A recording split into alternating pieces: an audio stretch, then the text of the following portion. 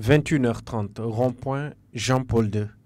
En pleine soirée, ce lieu est pris d'assaut par une jeunesse en quête d'endroits de dette. En toute liberté, les couples se forment et les camaraderies animent l'espace. Cette insouciance de la jeunesse contraste avec un danger permanent. Imaginons par exemple un camionneur qui, qui dérape de, la route hein, et va directement sur le rond-point. Là, on ne peut pas quantifier combien de jeunes ils pouvaient. Comment, je ne veux pas en, en, en parler parce que ce n'est pas imaginable. En effet, nous sommes sur un sens giratoire et ces jeunes sont laissés à eux-mêmes. Une situation qui peut être lourde de conséquences. Le rond-point là, c'est risqué. Il y a les voitures, il y a les motos, il y a partout. Ce n'est pas un lieu de, de, de, de rencontre.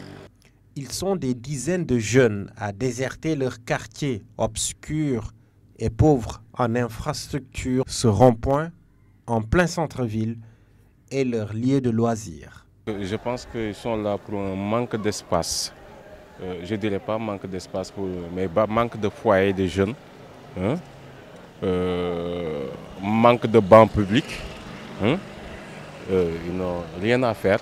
Les autorités municipales sont encore une fois interpellées pour un meilleur aménagement de l'espace public.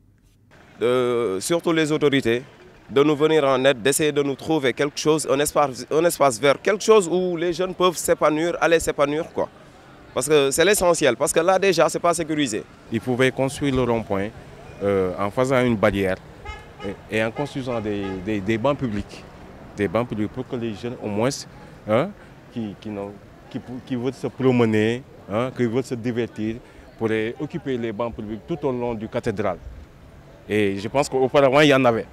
Mais je ne sais pas dans quel cas ils l'ont enlevé. Et c'est ça qui a causé que les jeunes, de Ziguinchor s'entassent euh, sur le rond-point.